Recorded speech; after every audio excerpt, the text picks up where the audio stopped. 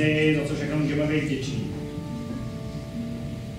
Za své rodiče, za své děti, za své přátele, za své učitele.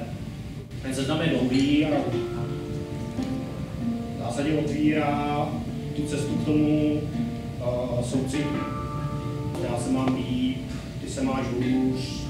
Ne, já jako soucit, myslím to přání, aby se ostatním taky dařilo. Přání, aby ten druhý byl taky šťastný.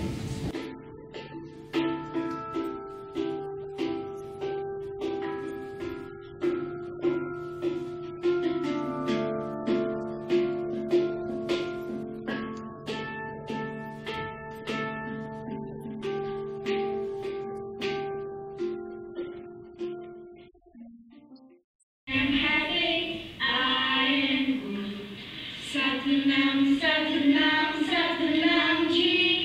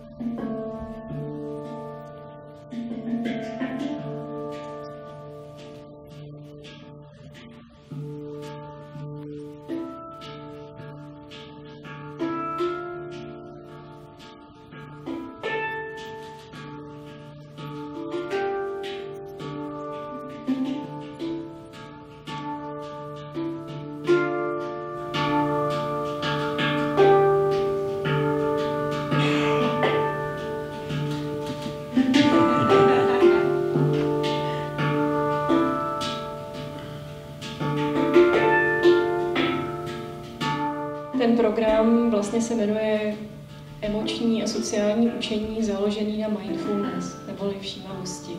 Takže pro ty žáky to má podobu eh, toho, že eh, je to zaměřené na uvědomování si a oni si uvědomují sebe primárně, ale pak si taky uvědomují eh, druhé děti a uvědomují si svoje tělo.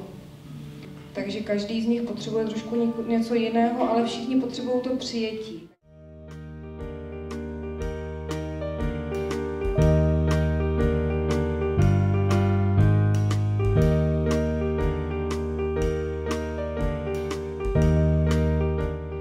Věřím, že umíme podporovat potřebné, že můžeme sdílet náš úspěch s ostatními, že můžeme pomoct a podpořit další evoluci naší zemi.